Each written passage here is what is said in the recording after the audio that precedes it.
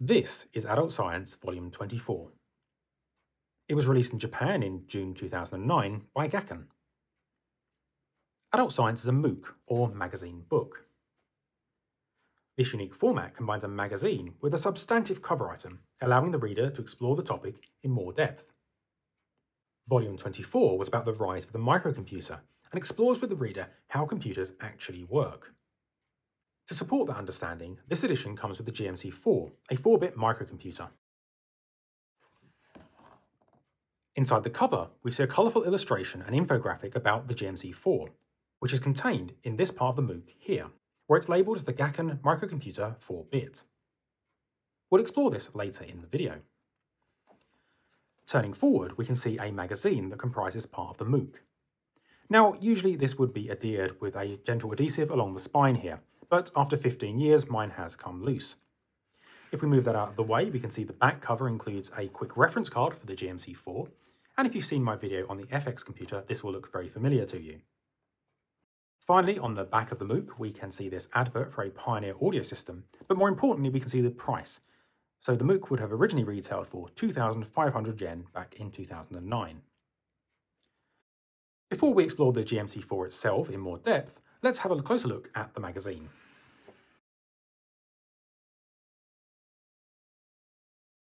The front cover shows some macro photography of a microprocessor, including the delicate bond wires that connect the CPU die to the legs of the chip, or in this case, the traces on the PCB. Inside the magazine, we see previous editions of Adult Science, including their various accessories, and we see the contents for this particular edition. The magazine begins by exploring the Intel 4004 and the Intel 8080 CPU, which powered the Altair computer. If you'd like to learn more about the Altair, I have a video on a reproduction of that exact system.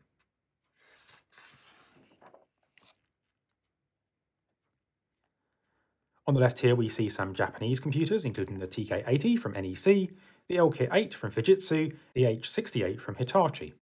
On the right, we have American computers, including the PET from Commodore, the Apple II, and the TRS-80 from Tandy Radio Shack.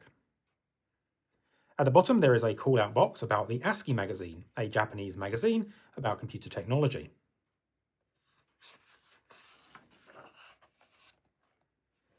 We then to go on to look at some Japanese computers.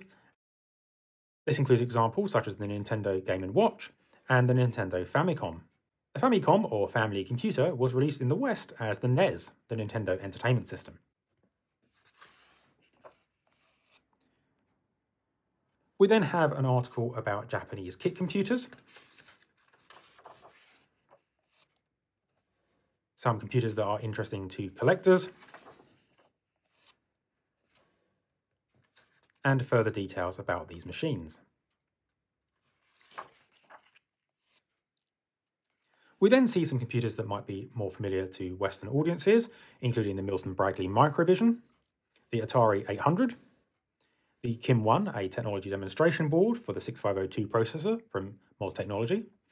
If you'd like to learn more about the 6502, I have a video on the 6502 and programming with resistors and diodes. We also have the Vectrex, which was an interesting games console with a vector-based display. And for British readers, we have the Sinclair QL, the ill-fated successor to Sinclair's popular ZX81 and ZX Spectrum microcomputers.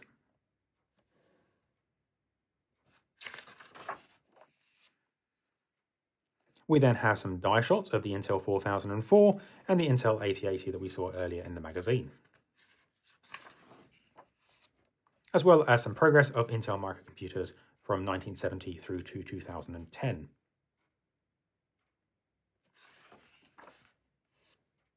Here we see the first example of a project with the GMC4, and this is by the editor of ASCII magazine. Once you've assembled your GMC4, you can program in this particular program if you'd like to do so. We also have examples of connecting the GMC4 up to external hardware, including the Minimoog, which was another product available from Gakken.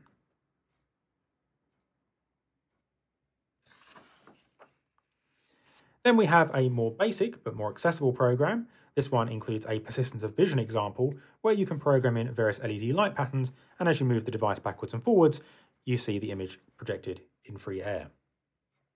In this example, we have the Gakken logo and a example of a heart icon.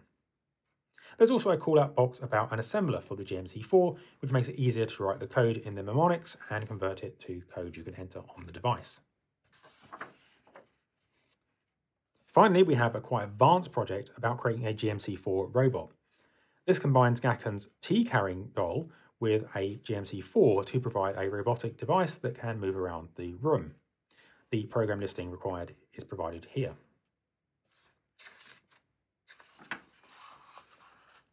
The magazine then goes on to look at the prehistory of computing before the digital era, including things such as abacuses and Napier bones, Pascal's calculator, and Babbage's difference engine. We then move on from the 18 to 1900s, looking at things such as IBM machines and the ENIAC. The next article is about how computers work on a basic level, including some abstraction to the hardware. Finally, the magazine considers the binary or base 2 number system, how that compares to hex, which is used with the GMC4, and the decimal system that we are all familiar with today. The article goes on to explain AND, OR, and NOT gates, as well as conceptualizing binary as switches that are on and off. If you'd like to learn more about this basic level of computing, about thinking about computers as switches, I have a video about programming with switches and wires that you might find interesting, featuring the Tandy Science Fair Digital Computer Kit. The article continues on to explain addition, before finally moving forward to assembly of the GMC4 itself. There are then operating instructions for the GMC4, and I'm going to flick through those quite quickly here as we'll visit them in more detail in a moment.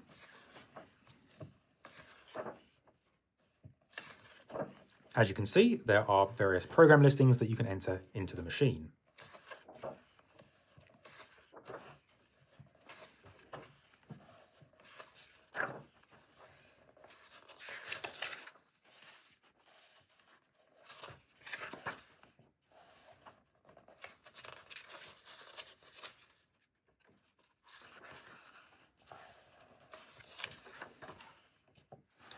Finally, there's a nice article about the FX R165 or the FX computer. I featured this in a previous video if you'd like to learn more about this, including the English language version that was released in the West. There's then some computer column articles, so these are examples of the kind of write-in feature you would see in ASCII magazine, and it shows an example of connecting the GMC4 to the electronic blocks kits that you may have also seen in previous videos. Finally, there is a story here about the use of the wire recorder that was available in volume 23, nicely illustrated by these pictures of some dogs.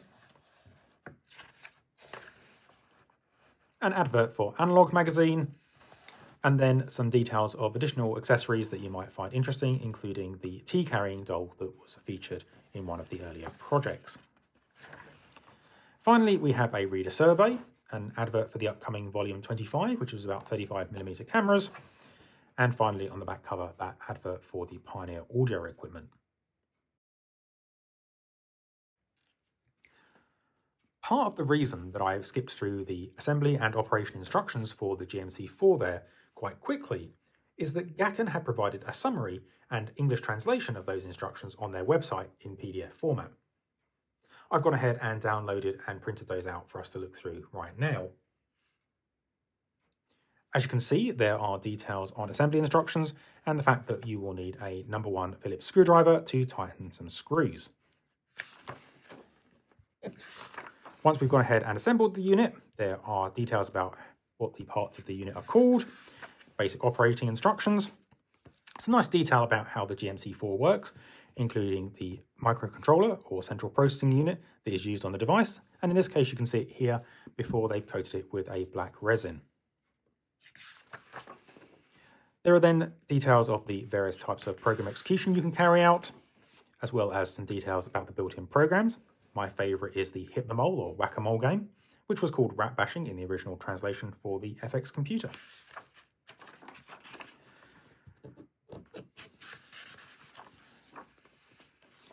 There's then details about the command structure for writing your own programs and a couple of example programs that you can look at.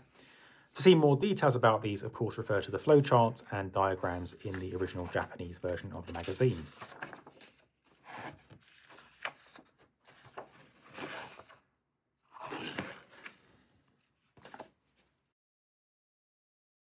So I think it's about time we took a closer look at the GMC4 itself. Now this unit was imported from Japan and is now over 15 years old. So you can see the tape here has come away with age. But if I open the box and pull out the insert, we can see that our GMC4 is in the original polystyrene and even the original shrink wrap. So let's peel back the plastic and bring the GMC4 to life.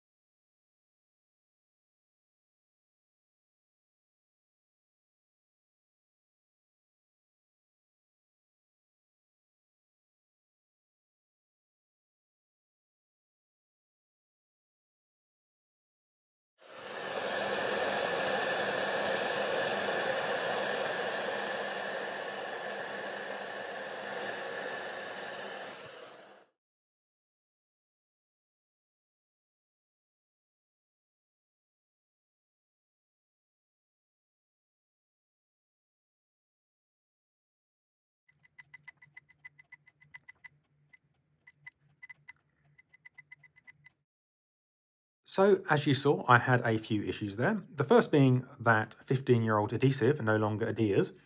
The problem there is that it had dried out entirely.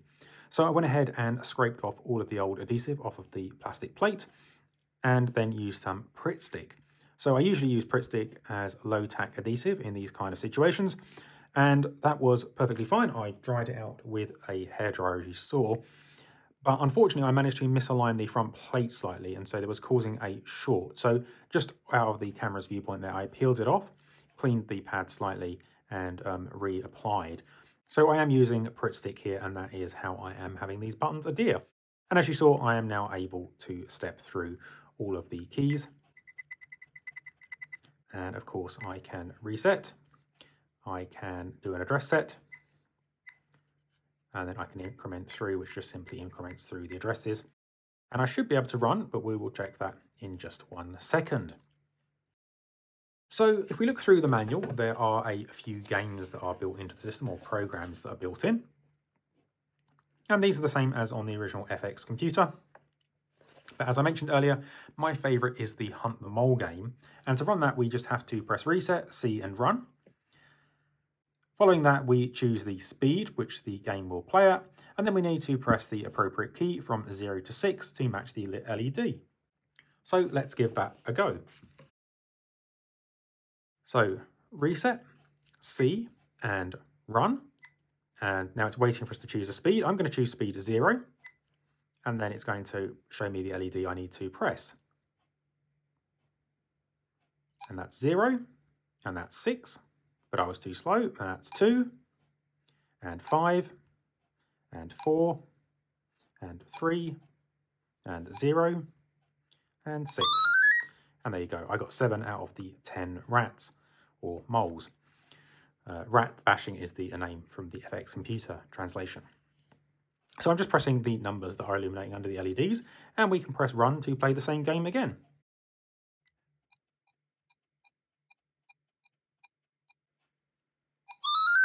And that time we got all 10, and so we see a hexadecimal A, which means 10, or as I like to think of, ACE. Now, as I mentioned, you can program your own programs into this device, and there are instructions for doing that. Now, to do that, all we need to do is reset the device, and we can set the address we would like to target. Uh, so here that's targeting address 0, but I could target any other address I like as well to enter data. And there are a few programs in the manual that might be interesting.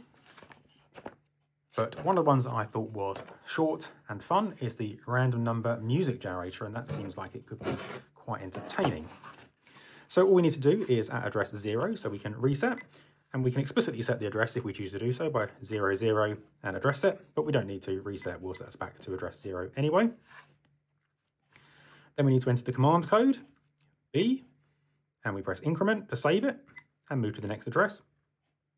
One, increment, six, increment, four, increment, E, increment, B, increment, F, increment, zero, increment, and zero, increment.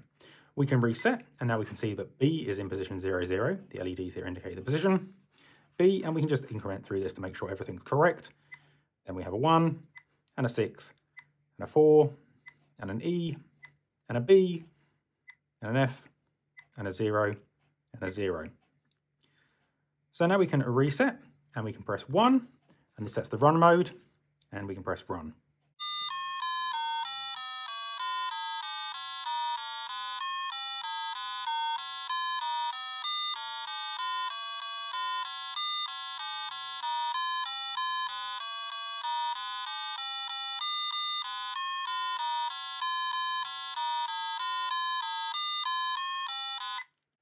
Okay, so that's kind of fun.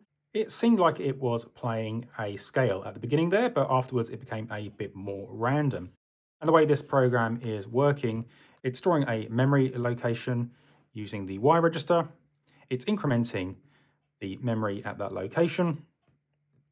It's storing that back to the memory.